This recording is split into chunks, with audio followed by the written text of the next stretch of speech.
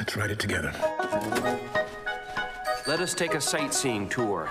The story begins with the great painter, Mr. Moses Rosenthaler. On three overlapping dramatic timelines, the following events came to pass. We have kidnapped your son. I don't get it. Of course you don't. Am I in trouble? Put it this way it has exploded into symbolism, and everybody's talking about it. The French Dispatch. What happens next?